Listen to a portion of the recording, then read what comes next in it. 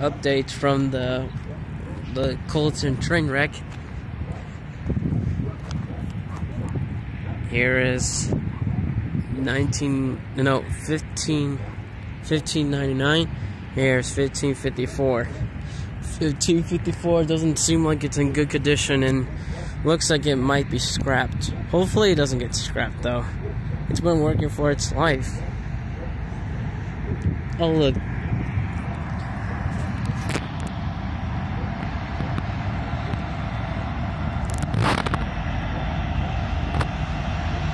that an SD70 ACE?